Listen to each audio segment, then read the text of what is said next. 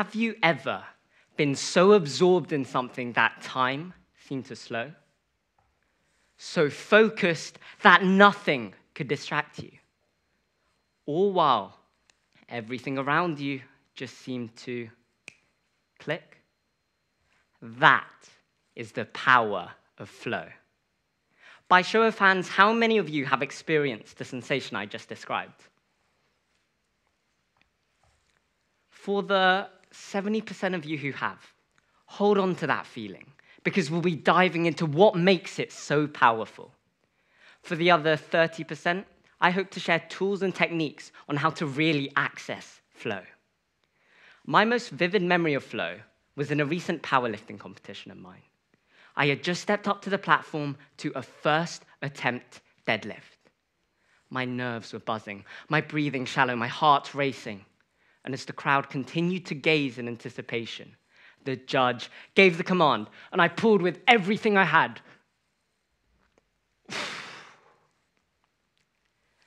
Nothing. The bar didn't even move. Five minutes later, I was back at it with attempt two, but this time I was ready. Before the lift, I took a deep breath in.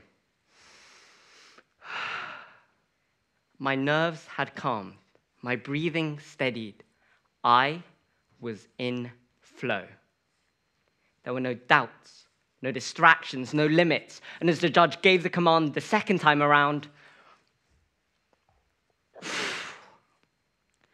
180 kilos, my most weight ever lifted at that point, came straight off the floor. My fascination with flow started when I was just 10. After walking out of exams, I'd always find myself returning from a trance like state, my mind effortlessly clear after doing whatever year five math involved. Through research and practice, I began to harness this state deliberately, tapping into its ability to eliminate distractions, heighten focus, and boost productivity across all disciplines. Flow is for everyone athletes, artists, academics. In fact, every single one of you can not only experience flow, but use it to achieve your most productive selves. A systematic review of 25 studies showed that flow induced changes to brain activity, particularly in regions linked with attention, executive function, and reward systems. These changes help reduce your brain's ability to overthink. Anxiety, gone. Doubts, out the window. The girl who's not texted me back yet, forgotten. Activity in these regions is also linked with the production of dopamine, boosting pleasure, endorphins, boosting performance, and norepinephrine, your brain's personal espresso shot.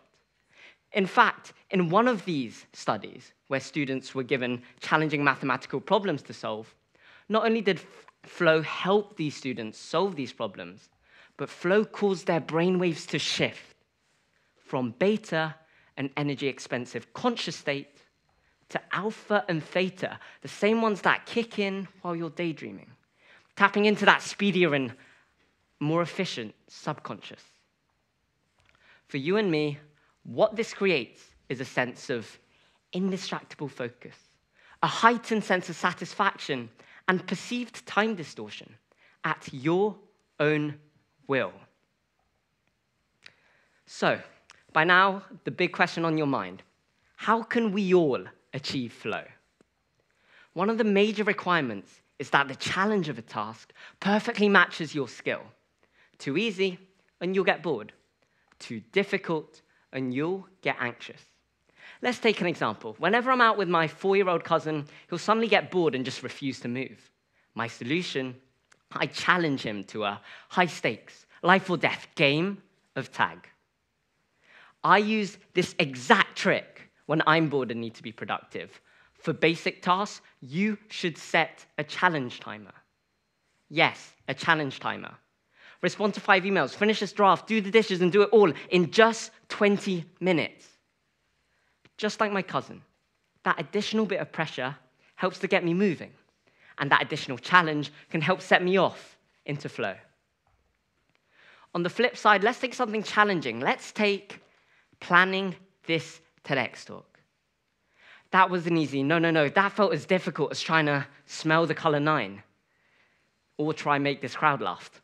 Writing, memorizing, rehearsing, only three weeks to prepare. The mere thought of it was overwhelming. But here's the trick take your colossal task and break it down into manageable pieces. For this specific TEDx talk, I broke it down into four major pieces researching, script writing, committing that script to memory, and rehearsing, perfecting my body language and hand gestures so they'd look more like this and less like that.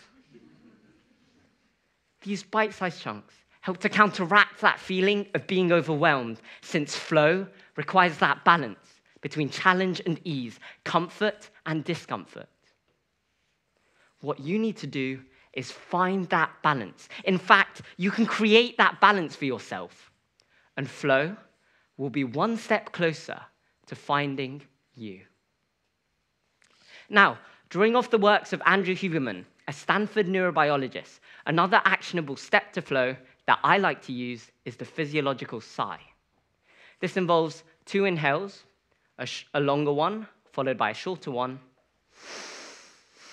and a long exhale with a sigh. I even started my talk with one today. Let's all try this together right now. Follow my hand motions. Two inhales. and a long exhale with a sigh. One more time, let's get the practice in. Two inhales.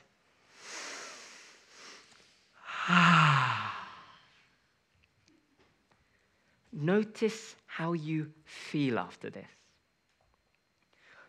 What I imagine this doing is it recalibrates my nervous system to be ready to launch into flow.